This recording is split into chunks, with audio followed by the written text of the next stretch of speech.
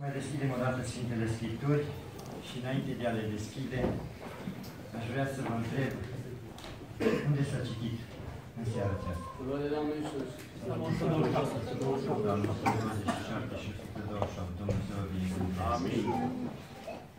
Ne oprim asupra versetului 3 din Psalmul 127 și versetul 4, pagina biblică 630.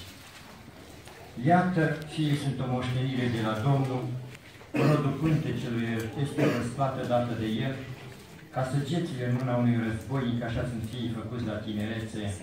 Amin. Amin. Să ocupăm la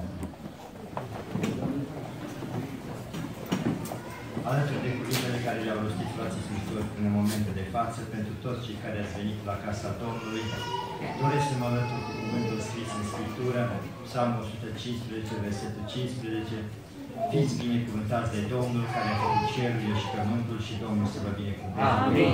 Amin. Eu vă mulțumesc că m-ați mai acceptat și seara aceasta să fiu împreună cu dumneavoastră și doresc din inimă ca Dumnezeu să vă dea prosperitate pe calea pocăinței. Amin. Că și vremurile care le venim să vre, trăim sunt vremuri grele, sunt vremuri delicate, sunt vremuri care ne pun pe gânduri, dar îi mulțumim lui Dumnezeu că El a făcut o făgăduință. Și a spus următoarele. Eu voi zidi biserica mea și porțile locuinței morților nu o vor birui. Amin. Măriți să fie Amin. Domnul. Amin. Ca biserica Domnului Iisus Hristos, ne bucurăm de biruința în numele Domnului și știm, Amin. chiar dacă vor veni momente mai grele, știm un singur lucru, că Domnul este păstorul meu Amin. și El este biruința noastră, slăvit să fie Amin. Domnul. Dar câteva gânduri asupra evenimentului și asupra lucrării care are loc în premieră la dumneavoastră aici în seara aceasta, o slujbă în care frații slujitori vor chema numele Domnului peste un mic copilaș, primit într-o familie, pentru care dorim ca Domnul să-l binecuvânteze. Amin. N-am întrebat nume, băiat, fată, Băiat. nu știu. E un băiețel, Domnul să-l binecuvânteze. Amin. Dacă eu sunt pentru a doua oară și alții a treia, a patra oară, el el este pentru prima dată. Și dorim ca de astăzi încolo aici să crească. Amin. În casa Domnului. Amin. Ca și altă dată Samuel. Și să fie o binecuvântare pentru biserică, o binecuvântare în familie și o, bis- o binecuvântare și pentru națiune. De Doamne. Amin. Doar câteva gânduri spuneam în privința aceasta, având în vedere că trăim într-o vreme în care omenirea investește mult să nu se mai facă copii, să nu se mai nască copii, investește mult ca să se pună piedici în calea nașterii de copii, noi ne bucurăm că cuvântul Domnului spune următoarele. Fiii sunt o moștenire de la Domnul. Amin. Măriți să fie Domnul. Amin. Rețineți, dar, alături de celelalte învățături și sfaturi sănătoase care sunt convins că le-ați primit aici prin frații slujitori, fiii, copiii sunt o moștenire care o dă Dumnezeu. Amin. Nu vorbim de cei de afară, noi vorbim de, ce, de Biserica Domnului. Și pentru Biserica Domnului totdeauna Dumnezeu a avut și are binecuvântări cerești și pământești, Amin. numele Lui să fie Amin. binecuvântat. Un alt lucru când privim, când primim copiii în familie, cum trebuie priviți copiii. Și tata și mama, și noi ceilalți, să privim în cartea Domnului în Genesa, să vedem ce spune o femeie de data aceasta, dacă vreți vorba unui frate din Bucovina, spunea el, de data aceasta predică o femeie. Ce spunea această femeie când a văzut că a primit al șaselea copil? Citim Geneza, capitolul 30, versetul 19 și 20. Lea a rămas însărcinată, a rămas iarăși însărcinată și a născut un al șaselea fiu lui Iacob. Lea a zis, frumos dar mi-a dat Dumnezeu. Vă rog rețineți ce sunt copiii în casele noastre. Darurile lui Dumnezeu. Dar mai rețineți un aspect. Dumnezeu nu dă daruri urâte. Amin. Dumnezeu dă daruri frumoase. Amin. Și copiii mei sunt cele mai frumoase daruri ale lui Dumnezeu. Amin. Dar copiii dumneavoastră? Amin. Tot așa, cele mai frumoase daruri ale lui Dumnezeu.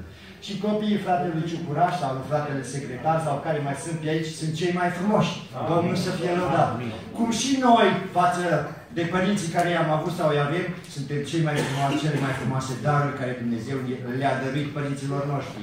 Îi mulțumim că pe lângă faptul că ni s-a oferit să fim daruri sau să primim daruri, cel mai mare dar l-a oferit Dumnezeu omenirii prin Domnul Isus Hristos, Fiul lui prea iubit.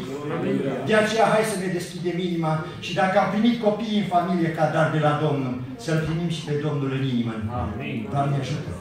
și El să ne călăuzească în toate zilele vieții noastre. Amin. Prezența copiilor în familie nu este o povară. Prezența copiilor în familie nu este o piedică în calea fericirii. Prezența copiilor în familie nu este o piedică în, în, în calea împlinirii familiei. Prezența copiilor în familie nu este o piedică în calea pocăinței. Prezența copiilor în familie nu este o piedică în calea mântuirii. Ba din potrivă, împreună cu ei, îl slujim pe Domnul. Amin. Hai să citim în Cartea Domnului și înainte de a citi doar vă pun o întrebare. Vă aduceți aminte, poate unii din Milano au auzit întrebarea și o știu, prefer să dumnealor să nu răspundă. Vă aduceți în familie un om, spune Scriptura despre el că era fără prihană, a avut 20 de copii. Vă aduceți aminte de omul acesta? Și totuși avea timp să se roage, avea timp să aducă jertfă și Dumnezeu a zis despre el, ai văzut pe robul meu, el, el este fără prihană. Au avut odată 10 și după aia mai primit încă 10. Și cu toate acestea, nu l-a împiedicat numărul lor de copii, mulți, să-L slujească pe Domnul. De aceea și noi, surori și frați, și tineri, de ce nu? Sau tineri familiști, dacă vreți. Să-L slujim pe Domnul împreună cu copiii noștri. Amin. Numele Domnului să fie binecuvântat. Față de Iov, Domnul a avut ceva de dat. Și hai citim de data aceasta ce îl dărui Domnul la Iov. După o viață de neprihănire, după o viață fără de păcat, după o viață în care el a primit 20 de copii în familie și el n-a comentat, n-a murmurat, n-a zis nimic rău, spune Scripturile în Iov 42, versul 12. În cei din urmă ani ai săi, Iov a primit de la Domnul mai multe binecuvântări decât primisele în cei din tâi. Și începe și numără oi, boi și așa, cămile și așa mai departe. Și zice că tot așa la urmă a avut și șapte fii și trei fete. Cele din tâi a pus numele Enima, cele de-a doua Cheția și cele de-a treia Cheren Hapuc. Și mai zice versul 15. În toată țara nu erau femei așa de frumoase ca fetele lui Iov. De ce? Că a fost un tată neprihănit. Amin. Care a știut să slujească pe Dumnezeu, chiar dacă a avut copii mulți. Repet, copiii nu sunt o piedică în familie, în niciun domeniu a vieții. Ba, din potrivă, sunt aceia care vor moșteni împreună cu noi viața veșnică. Amin. Dumnezeu nu ne-a dat ca să ne fie povară, ci ne-a dat ca niște daruri, ca niște moșteniri, să-i prețuim și să investim în ei. Doamne ajută! Amin. Apoi, în Cartea Domnului, spuneam în Genesa, spune cuvântul Domnului despre un om cu numele Enoch, la capitolul 5, versetul 21. La vârsta de 65 de ani, Enoch a născut pe Metusala. Vă rog, luați aminte, după nașterea lui Metusala, după ce l-a născut pe Metusala, Enoch a umblat cu Dumnezeu 300 de ani și a născut fii și fiice. A avut copii, fii și fiice, cel puțin doi de fiecare plus Metusala, minim cinci. Cu toate acestea, Enoch n-a fost împiedicat să-L slujească pe Domnul, să trăiască fără prihană înaintea Domnului și să umble cu Dumnezeu și la final Dumnezeu ce a făcut lui Enoch? Citim. Toate zilele lui Enoch au fost de 365 de ani. Enoch a umblat cu Dumnezeu. Apoi nu s-a mai văzut. Pentru că l-a luat Dumnezeu. Slăvit să fie Domnul. E, permiteți-mi să vă spun, trecând repede de la capitolul acesta spre altă direcție, că de fapt copiii nu sunt o piedică în calea familiei, ci împreună cu ei putem sluji pe Domnul, facem o paranteză. Dacă l-am luat pe Metusala și l-am pune în vremea noastră a Noului Testament, să învețe și el versetul acela pe care l-a spus Apostolul Pavel, copii, ascultați de Domnul, în Domnul de părinții voștri, căci este drept să cistești pe tatăl tău și pe mama ta, să trăiești multe zile și fericite pe pământ. E, Metusala a fost omul care a ascultat de taică și știți cât a trăit Metusala? 90, 969 de ani. Un copil care a ascultat, dacă vreți, în vremea noastră, l-am integrat între noi astăzi, a ascultat de un tată care a umblat cu Dumnezeu. Și Dumnezeu i-a răsplătit ascultarea. De aceea pentru copii vorbesc, să asculte de părinți. Amin. Iar pentru noi, nu uitați un lucru. Dumnezeu a privit spre Enoch. A văzut umblarea lui cu, că în fiecare zi umbla cu Dumnezeu. A văzut trăirea lui în neprihănire. Și a fost un moment, după o perioadă de 300 și, spune Scriptura, 365 de ani, a umblat cu Dumnezeu și nu s-a plictisit cu Dumnezeu. A umblat un an, 2, 70, 80, 100, 200, 300, 365. Și nu s-a plictisit de Dumnezeu. Și Dumnezeu l-a luat și l-a dus la el. Vreau să rețineți un lucru. Neprihănitul acesta a trăit cu nădejdea aceasta că el se va întâlni odată cu Dumnezeu. Ca și Iov care spunea, răscumpărătorul meu este viu. Aleluia. Și nevastă să-i spunea, tu rămâi tare în neprihănirea ta? Da, rămân tare. Că ochiul meu îl va vedea pe el, pe răscumpărător, slăvit să fie Domnul. Oamenii ăștia neprihăniți au trăit cu o nădejde în ei, că se vor întâlni cu Domnul și, cum zice Iov, îmi va fi binevoitor. Doamne, arată-ți bunăvoința față de noi. Dar vedeți dumneavoastră, a fost un moment când Dumnezeu l-a luat pe Enoch din mijlocul oamenilor și oamenii au mai rămas să trăiască o anumită perioadă de pământ, pe pământ după aceea ce a venit? Potopul. Și au pierit toți. Au pierit urmașii, urmașilor lor. A scăpat doar unul. Tot unul neprihănit. Noi. Ei, și noi așteptăm niște evenimente importante. Amin. Și noi, ca biserică, purtăm în inima noastră o nădejde. Umblăm azi cu Dumnezeu. Umblăm mâine cu Dumnezeu. Pentru că El ne-a făcut o făgăduință. Eu mă duc la Tatăl să vă pregătesc un loc. Ca acolo unde sunt eu să fiți și voi. Și după aceea mă întorc să vă iau. Amin. Bărbați galileieni, de ce stați și priviți așa spre cer? Acest Iisus care s-a înălțat va veni în același fel cum l-ați văzut. Și va veni să-și știe biserica, va veni să-și știe mireasa, va veni să-și știe fecioarele înțelepte, să le ducă în împărăția Lui pe aceea care în vremea aceasta umblă și trăiesc cu Dumnezeu în neprihănire. Amin. Doamne ajută-ne! Amin. Și privința aceasta, câteva cuvinte aș dori să citesc în Cartea Domnului, având în vedere evenimentul acesta, având în vedere că, de fapt, zilele care noi le trăim ne direcționează spre aceste evenimente și sunt semnale de alarmă ca în vremea aceasta, mai mult ca oricând să-L căutăm pe Domnul, Amin. mai mult ca oricând să ne apropiem de Domnul, mai mult ca oricând în fiecare zi, în fiecare clipă să umblăm cu Domnul, căci vine o vreme, ca și pentru Enoch, când va fi, lu- vor fi luați de pe pământul acesta. Căci pentru pământul acesta, spuneam și de dimineață, ca altă dată pentru Noe, va veni, pentru cei din vremea lui Noe, va veni un potop. Și Dumnezeu, pentru cei neprihăniți, are o ușă de salvare, cu numele care este scris pe ea, Iisus Hristos, Amin. Domnul vieții. Amin. El este ușa oilor. Ferice de cel ce intră prin această ușă, căci intră și dincolo ce găsește? Pășune sau viață, slăvit să fie Domnul. Și nu viață de 80 de ani, ci viața veșnică, binecuvântat să fie numele Domnului. Noi așteptăm. Și spune cântarea, un vers de cântare, noi așteptăm pe Domnul Isus când vine. L-așteptăm Amin. umblăm cu El, Amin. trăim cu El, ne investim în copiii noștri să calce pe urmele noastre. Pavel spunea într-o împrejurare, călcați pe urmele mele întrucât și eu calc pe ale lui Hristos. Doamne ajută-ne Amin. să călcăm pe urmele lor. Spune Scriptura în Evanghelia după Luca, capitolul 17, cu privire la venirea Domnului Isus Hristos, versetul 24. Cum este fulgerul și luminează de la o margine a cerului până la cealaltă, așa va fi și Fiul omului în ziua sa. În ziua când va veni pe, pă- pe pământul acesta sau când va veni în văzduh să știe biserica, va fi ca un fulger care se apare la răsărit și apune în partea cealaltă, repede și eficient și nimeni nu-l poate opri. Pentru că e Dumnezeu, numele Lui să fie binecuvântat.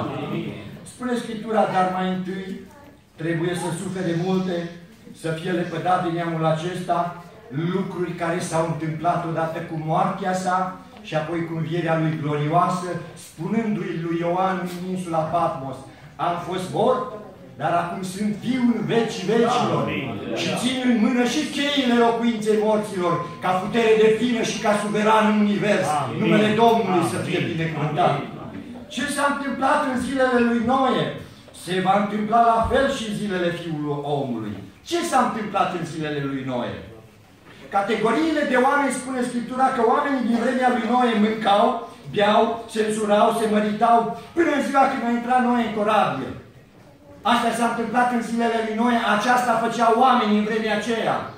Dar lăsând pe oamenii din vremea aceea și din vremea de astăzi, care caută doar distracție, mâncare, băutură și împlinirea poftelor carnale, lăsând deoparte lucrurile acestea, hai să vedem că acolo în mulțimea aceea erau câțiva oameni, câteva persoane care nu se asemănau cu ei.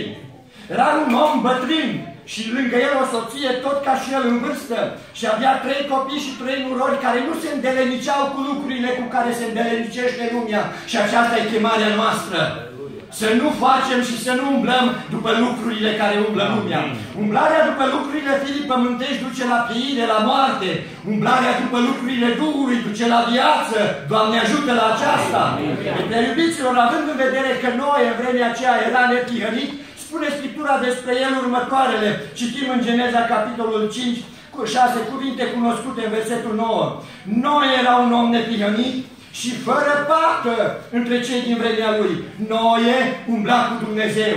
Enoch umbla cu Dumnezeu. Noe umbla cu Dumnezeu. Noe era fără pată. Noe era nepihănit. Și așa vrea Domnul să fim și noi. Amin. Pentru că venirea lui pe pământul acesta va fi ai doma ca și pe vremea lui Noe.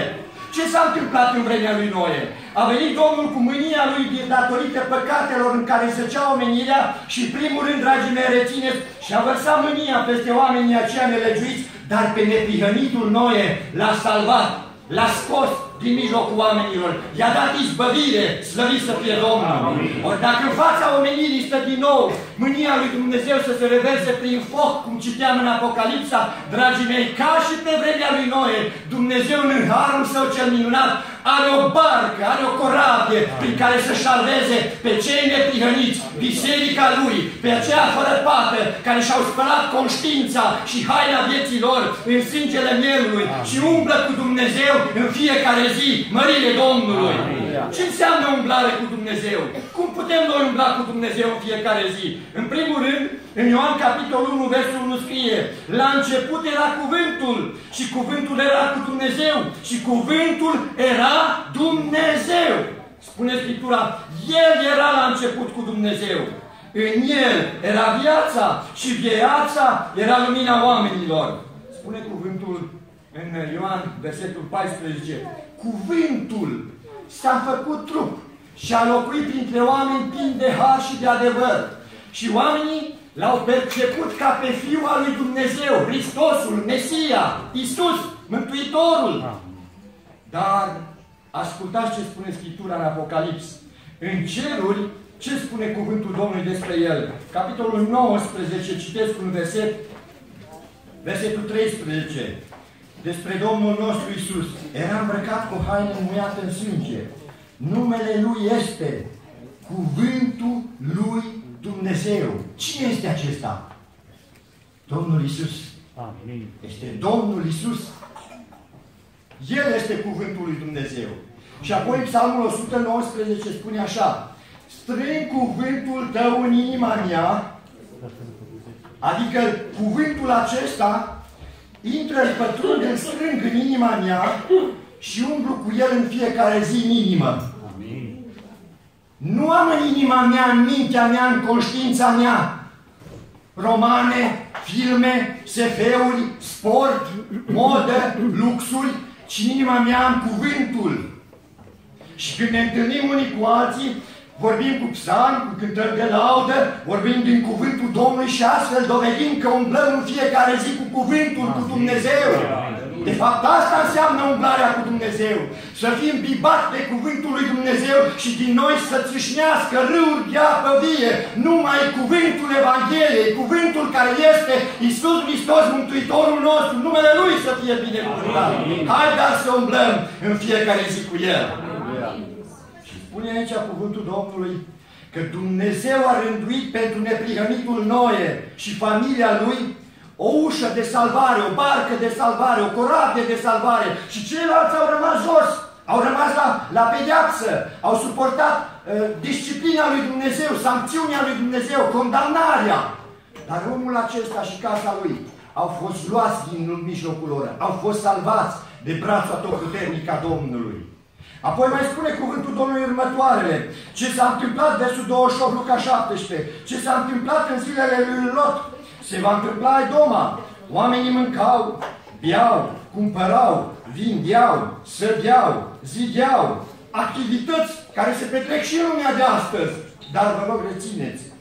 Dar în ziua când a ieșit Lot din Sodoma, a luat foc și pucioasă din cer și a pierdut pe toți. Dar totuși cineva a scăpat. Cineva care a plecat din Sodoma și din Gomora. Și acela era Lot. Cu soția lui și cu fetele lui. Dar cine l-a scos pe Lot din Sodoma și Gomora? Îngerii Domnului, nu mai cine. A fost cineva trimis de Dumnezeu acolo să-i scoată de acolo și apoi în timp ce ei ieșeau și mergeau spre cetatea Țoar, a început să cadă de sus din cer foc peste Sodoma și Gomora și peste celelalte cetăți cinci la număr care erau hotărâte de Dumnezeu pentru pieire. Au rămas oamenii sub pedeapsa lui Dumnezeu, dar Dumnezeu a scos afară pe cel neprihănit despre care Scriptura ne spune că omul acesta, Lot neprihănitul, își chinuia sufletul din pricina celor ce auzea și vedea petrecându-se în Sodoma și Gomora. Și am ajuns și noi să trăim vremea Sodomei și Gomorei. Și actualmente, în vremea aceasta, când se legiferează atâtea legi păcătoase, ai doma ca în Sodoma și Gomora, nu uitați Dumnezeu din cer ne-a trimis pe Fiul Său cu Evanghelia Lui ca să ne mântuiască de mânia viitoare și noi în o vreme ca aceasta, haideți dar să ne unim cu toții, să trăim în dragostea lui Dumnezeu ca să, ne, ca să beneficiem de izbăvirea lui Dumnezeu. Că spuneam la început, Biserica Domnului nu este destinată morții, nu este destinată pedepsei, nu este destinată focului, ci este destinată salvării, răpirii și moștenirii vieții veșnice. Mărire Domnului! Și credem ce spune cuvântul Domnului, căci cuvântul acesta este puterea lui Dumnezeu de mântuire a celui ce crede. Întâi a iudeului, apoi a grecului și dacă vreți a noastră, a, noastră, a românilor sau romilor. Doamne, mărește-ne credința! E, dragii mei, crezând în cuvântul Domnului, suntem conștienți că ce s-a întâmplat în Sodoma și Gomora se va întâmpla peste omenirea aceasta, dar la fel de conștienți suntem că Scriptura spune și citesc, dacă vreți, în Evanghelia după Matei, capitolul 24, spune cuvântul Domnului astfel. Versetul 31. El va trimite pe îngerii săi cu trâmbița răsunătoare și vor aduna pe aleșii lui din cele patru vânturi de la o margine a cerului până la cealaltă. Pe cine va trimite? Pe îngerii săi.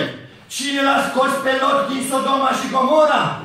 Îngerii Domnului. Și iată că Dumnezeu pentru biserica Lui, pentru aleșii Lui, are pregătit niște îngeri care să-i scoate ai doma ca în Sodoma și Gomora și să-i aducă izbăvirea. Dar, dragii mei, noi ce alegem în vremea aceasta? Care este alegerea noastră? O viață fără pată? O viață, fără ne, o viață în neprihănire și o viață umblată cu Dumnezeu? Sau alegem ce alege lumea? Lumea toată ziua alege. Azi pe unul, mâine pe altul, cum le cade bine. Dar noi suntem chemați să alegem pe Domnul Isus Hristos. Viața, El e viața, El e pâinea vieții, El e apa cea vie, El e ușa oilor, El este Mântuitorul nostru și Salvatorul nostru. Amin. Numele Lui să fie binecuvântat. Astăzi, fiecare avem libertatea să alegem. A ales și Adam și Eva.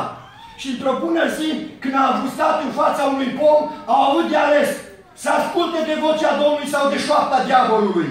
Și a ales să asculte de șoapta diavolului și au pierdut Edenul. Astăzi, prin ascultarea Evangheliei, avem harul să moștenim din nou Edenul. Amin. De aceea, haideți să alegem bine, ca să trăim bine în viața veșnică. Dumnezeu să ne ajute. Pentru că vine o zi, în ziua aceea va alege Dumnezeu. Va fi prea târziu să mai aleg eu sau dumneatale. Va fi prea târziu să mai aleg eu sau dumneatale.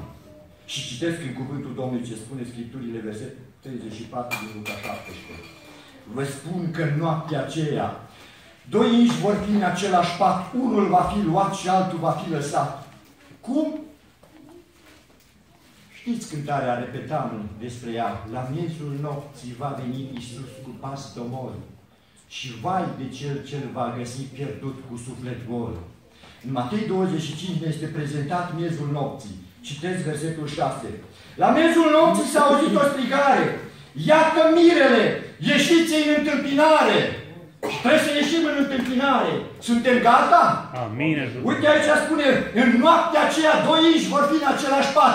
Unul va fi luat, celălalt va fi lăsat. Atunci când s-a auzit strigarea, zece fecioare s-au ridicat cu candelele repede să se pregătească să iese în întâmpinare. Cinci netipzuite constată că n-au un de lemn, iar cele cinci înțelepte sunt gata să intre, sunt gata să se întâlnească cu mirele. În noaptea aceea, Domnul Iisus de data aceasta vine și rezumă și mai profund, la nivel de familie. Cine se culcă fiecare în seară în pat, unul lângă celălalt? E soțul și soția. În noaptea aceea, unul va fi luat și celălalt va fi lăsat. Cum? Sora, ai vrea să fii luată? Sau ai vrea să rămâi frate? Ai vrea să fii luat frate sau să rămâi soră? Ce ați dori dumneavoastră? Pe vremea lui Lot, pe vremea lui Noe, cei răi au fost lăsați, iar cei neprihăniți au fost luați. Așa ne spune Domnul Isus Hristos. Revin dar. Haideți să facem o derogare în seara aceasta. Să introducem în cadrul bisericii de la Monța o familie. Și să nu, ne, să nu luăm o familie, sora și fratele, să luăm familia aceasta din Biblie și să o introducem în cadrul bisericii de aici, de la Monța, Filadelfia, ca membri oameni sănătoși. Și citim despre ei la 1 Samuel, capitolul 25, introducem de data aceasta această familie cunoscută sub următoarele nume, de Abigail și soțul ei Nabal. Și spune cuvântul Domnului următoarele. Cred că fratele conducă, păstor nu o să se supere că integrăm pentru slujba din seara asta aici pe cei doi. Și citim următoarele. În Maon era un om foarte bogat, care avea, a cărui avere era în Carmel. Și prezintă, numele acestui om era Nabal și nevasta lui se chema Abigail. Și acum rețineți. Ea era o femeie cu judecată, înțeleaptă și frumoasă la tip dar bărbatul ei era aspru și rău în faptele lui. El se tregea din calem. Și uite aici în biserică. Abigail în partea dreaptă, Nabal în partea stângă. Sunt membrii dumneavoastră aici. Ei fac parte din biserică. Și Scriptura spune că Domnul Iisus a zis că noaptea aceea când va veni Aidoma ca la Sodoma și Gomora, Aidoma ca pe vremea lui, lui Noe, pe unul lasă, pe celălalt îl ia. Și Abigail și ea, o femeie înțeleaptă, o femeie cu judecată. Celălalt, Nabal, rău, pe și el aici, fapte rele, spune Scriptura, era aspru și rău în faptele lui. Și e aici, între noi. El, Nabal, e aici. Și vine Domnul să ieie. Pe cine să ieie? Nu spuneți cu voce tare. Dar fiecare să se cerceteze bine. De ce Abigail poate să fie luată? Și de ce Nabal poate să, poate să rămână? Pentru că citim, spune cuvântul Domnului aici așa, versetul 25. Să nu-și pună Domnul meu mintea cu omul acela rău cu Nabal, căci cum este numele, așa este și el. Nabal, nebunul este numele și este plin de nebunie. Fraților, de data aceasta mă adresez dumneavoastră. Hai să ne venim în fire și să ne pocăim. Amin. Pentru că în cer nebunii nu vor ajunge. Nebunul zice în inima lui, nu este Dumnezeu. Noi credem în Dumnezeu, dar nu ca dracii, ci facem voia Lui. Amin. Doamne, ajută-ne ca să moștenim împărăția Lui. Iar femeia înțeleaptă își zidește casa. Nu uitați, surorilor, Domnul să vă binecuvânteze. Amin. Știți ce s-a întâmplat mai departe? Nabal piere, dar femeia aceea ajunge împărăteasă alături de regele David pentru că era femeie înțeleaptă. Fiți înțelepte, slujiți pe Dumnezeu să ajungeți în împărăția Lui alături de rege. Dumnezeu să vă binecuvânteze. Hai să mai introducem o familie în biserica din Monța. Hai să vedem, să ne regăsim pe noi în aceste exemple biblice și să ne pocăim fraților, să ne pocăim surorilor, că ziua aceea este așa de eminentă și venirea Domnului este atât de aproape încât nici nu ne imaginăm.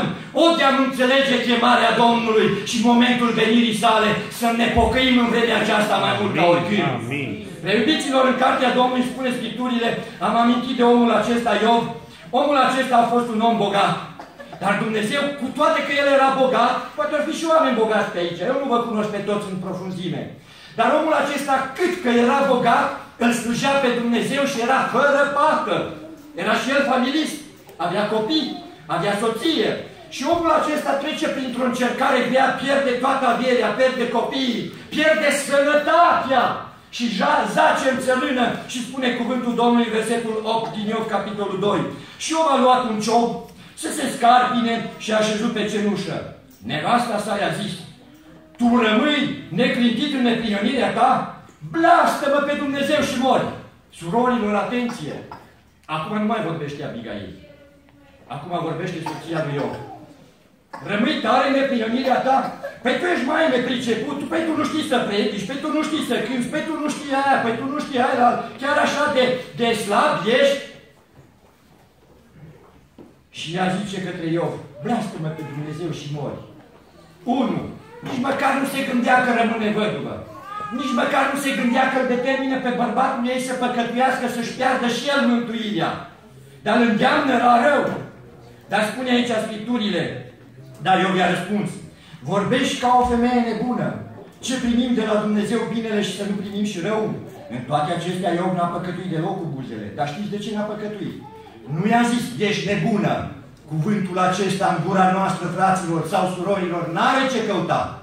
El a zis, vorbești ca o femeie nebună, ca o femeie care nu întreagă la minte. Ca o femeie. Dragii mei, frați și surori, și noaptea aceea unul va fi luat și celălalt lăsat. Să ducă femei nebune Domnul în cer? Sau să ducă bărbați ca eu fără prihan în cer? Meditați profund în adâncul vieții dumneavoastră, fraților și surorilor. Și hai să ne pocăim de învunie. Să-L căutăm pe Domnul din toată inima. Pentru că aduceți-vă aminte, stimați frați și surori, ați încheiat un legământ de a trăi unul cu celălalt și ați venit la altar și frații slujitori și-au pus mâinile peste dumneavoastră și s-au rugat, Tată, fă ca cei doi să fie una. una. Așa să ajute Domnul până la capătul vieții. Nu unul să fie nebun și celălalt înțelept. Nu unul să vorbească ca un nebun și celălalt să trăiască ca un neprihănit. Hai să fim una, ca la venirea Lui, în unitate, să zburăm spre cer. Doamne ajută să fim gata. Până atunci, să fiecare să se cerceteze pe sine însuși. Cum este starea dumneatale, soră? Cum este starea dumneatale, frate? Că Domnul vine să ia pe cei neprihăniți. L-a luat pe Enoch neprihănitul. L-a luat pe Noe neprihănitul, l-a luat pe Lot neprihănitul și va lua biserica care și-a spălat hainele în sângele mielului și trăiește în neprihănire. Doamne, ajută-ne și nouă să fim oameni fermi și hotărâți. De astăzi încolo voi trăi neprihănirea, de astăzi încolo voi trăi pocăința, de astăzi încolo voi împlini cuvintele Scripturii ca să moștenesc viața cea veșnică, căci pământul cu tot ce este pe el varde, dar cuvântul Domnului rămâne în viață. Iisus Hristos, Fiul lui Dumnezeu, rămâne și cei ce sunt a Lui vor rămâne cu El să moștenească viața veșnică, mărit să fie Domnul. Amin. Totodată Domnul Iisus Hristos mai spune următoarele cuvinte în Evanghelia după Luca, capitolul 17, versetul 35. Două femei vor măcina împreună. Una va fi luată și alta va fi lăsată. Două surori de data aceasta. Două surori merg să viziteze un bolnav. Două surori merg într-o familie să o ajute pe o mamă cu mai mulți copii. Două surori vin la biserică. Două surori merg la cumpărături. Două surori în activitate. Una să fie luată și cealaltă lăsată. Dar chiar așa? Chiar așa e de corect Dumnezeu? Chiar așa e de drept? E drept și sfânt. Dar e și foc mistuitor. Vă rog, rețineți. Ne bucurăm că Dumnezeu și arată bunătatea Lui și vedem bunătatea Lui prin soarele și ploaia care o lasă și peste cei buni și peste cei răi. Dar nu uitați, e foc mistuitor. Și spune Scripturile, hai să citim în Cartea Domnului, în Cartea de Genesei despre două surori. Spune cuvântul Domnului aici că femeile acestea două erau și surori în trup. Și în Scriptură găsim scris astfel. Capitolul 31, versetul 19. Știți că Iacov a avut două soții, una se numea cum surorilor? Lea și cealaltă Rahela. Două surori, două femei. Două femei merg la câmp, două femei lucrează, două femei implicate în acțiune. Una va fi luată și alta va fi lăsată. Acum le luăm și pe astea două și le, le facem membri aici la Monța. Seara asta numai, câteva minute. După aia le șterg frații din registre. Ne punem aici în mijlocul dumneavoastră și ne uităm la ele. Să vedem care va fi luată și care va fi lăsată. Și dacă vedem ceva că am rămas restanți și ne asemănăm cu una sau cu cealaltă, ne pocăim surorilor, că vrem viața veșnică, împreună, toți. Spune Scripturile, versetul 19, pe când Laban se dusese și-și oile, Rahela, sora lui Lea, a furat idolii tatălui său. Surorilor, atenție! Spune Scriptura că în împărăția lui Dumnezeu, spune Pavel la Corinteni, nici hoții nu vor intra. De aceea să nu vă permiteți niciodată să furați nici măcar un capăt de ață. Nu furați nimic, surorilor. Nu furați nici de la soțul vostru. Nu furați nici de la copiii voștri. Nu furați nici din casa Domnului. Nu furați nici din societate. Dar vă rog, rețineți încă un aspect. Noi știm că Scriptura spune cine fura să nu mai fure. Și ne păzim de lucrul acesta. Dar aici vă rog, rețineți, Rahela nu numai că a furat, a furat idoli, Dumnezei străini. Nu s-a mulțumit cu Dumnezeul lui Avram, Isaac și Iacov. Vrea să schimbe Dumnezeii.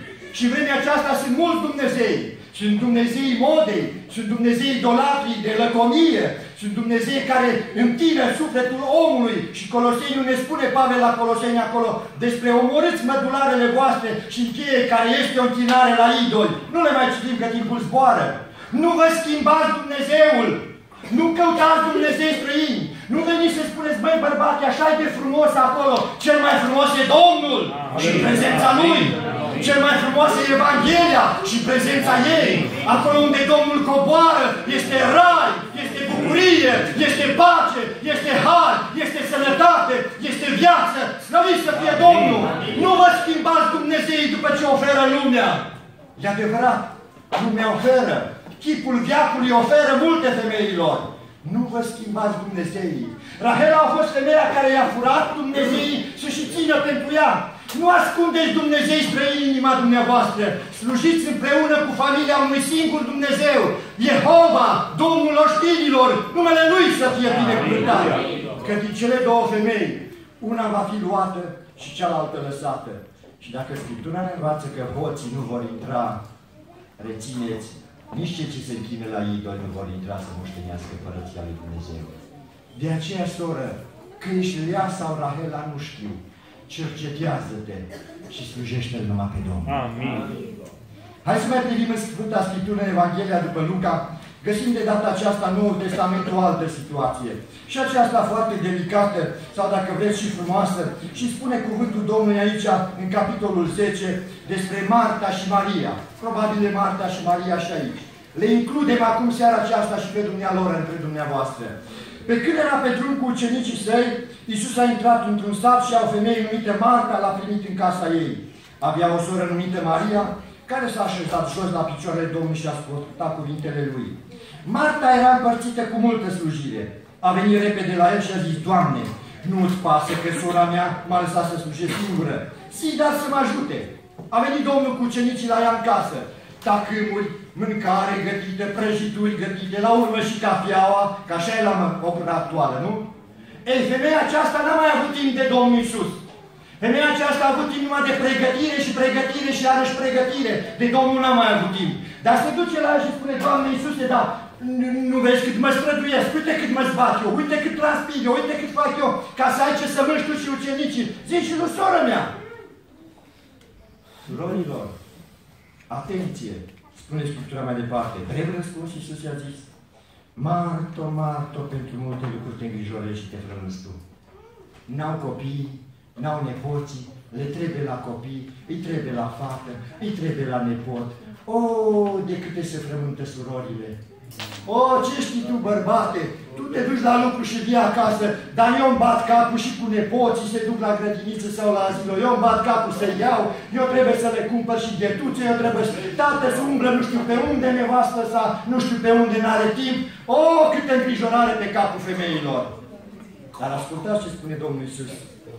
Un singur lucru trebuie Maria și ales partea cea bună care nu îi se va lua. Niciodată.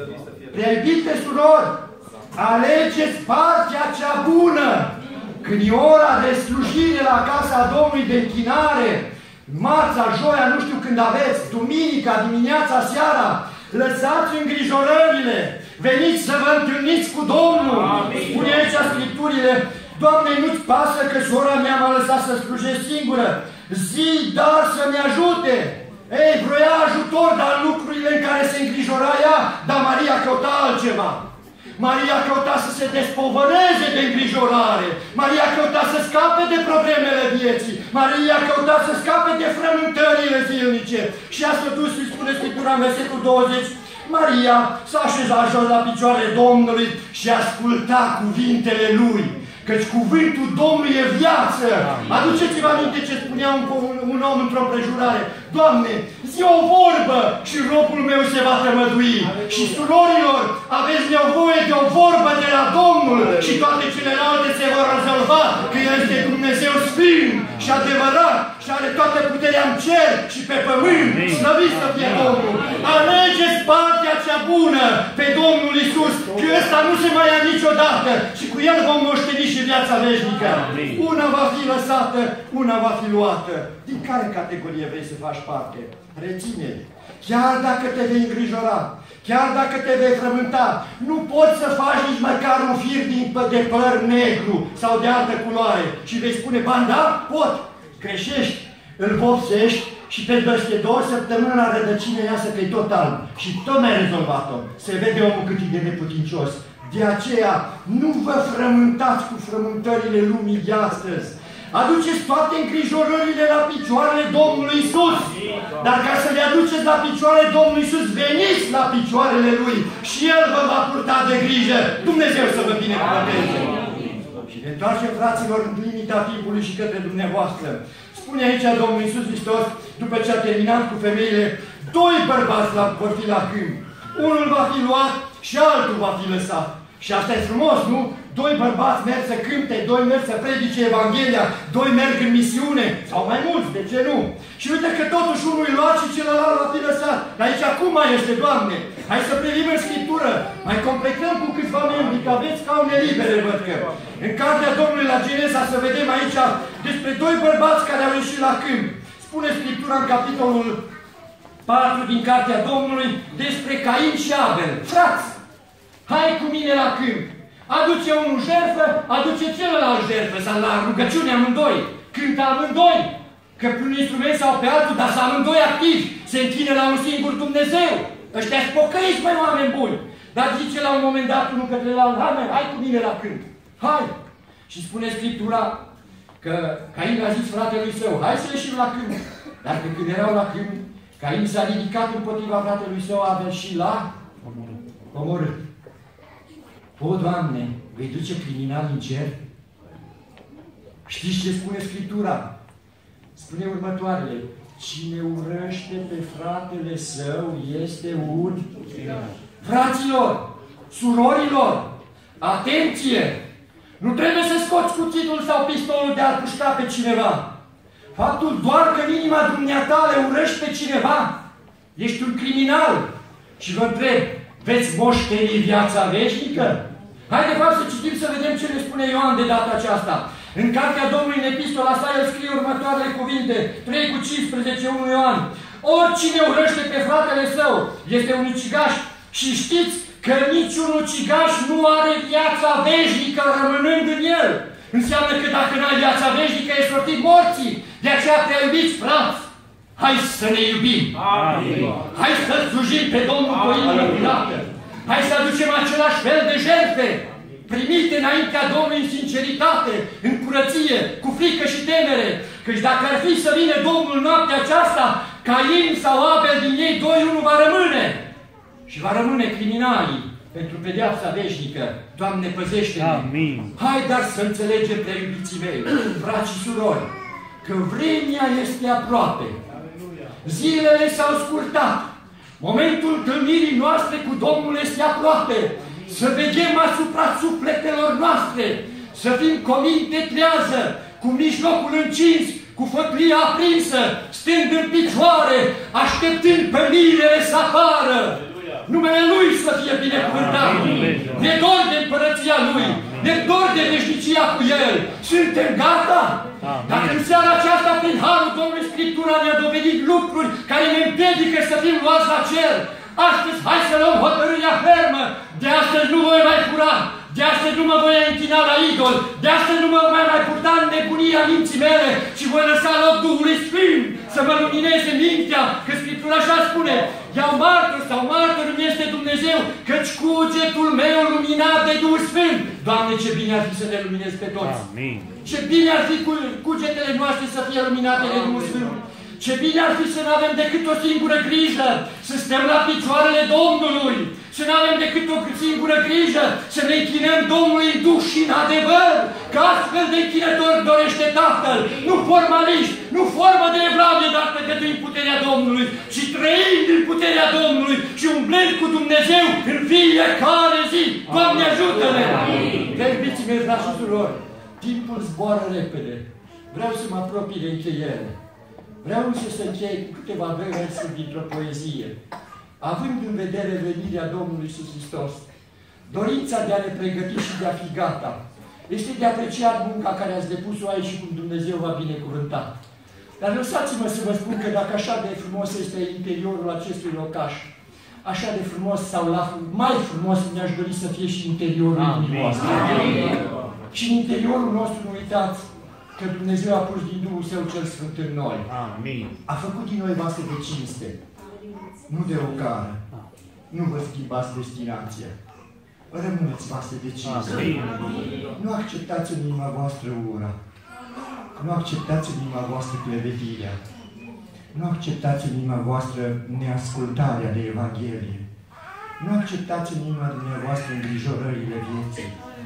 Nu acceptați în inima dumneavoastră mândria. Nu acceptați în inima dumneavoastră trufia. Nu acceptați ura. Nu acceptați minciuna. Rămâneți sfinți pentru Domnul. Amin. Amin. Păstrați-vă vasul în sfințenie, căci Domnul este sfânt și Amin. vrea și noi ca popor al Lui să fim sfinți. Căci cei neprihăniți vor trăi prin credință. Amin. Chiar și în Împărăția Lui Dumnezeu vor ajunge. Slăvit să fie Domnul. Amin. Având în vedere venirea Domnului, hai să fim gata, căci pe bolta cerului albastru, din slava tronului înalt, e aproape clipa când să apară un prins de slavă încoronat. Și acesta prins se cheamă Iisus. E Mesia, Sfânt Împărat. Amin. Când vine El cu slavă mare și ochii tăi îl vor vedea, El va striga cu glasul tare, o vino tu mireasa mea, căci e destulă suferința, e ziua comuniei tale, e ziua să se cânte mărire, slavă, osărare. Atunci va fi o zi semnată cum n-a mai fost din veșnicii, când lacrimile îți vor fi șterse, urmând eterne, eterne bucurii. Amin. Fă-ne parte, Doamne, de ele. Amin. Domnul să ne binecuvânteze.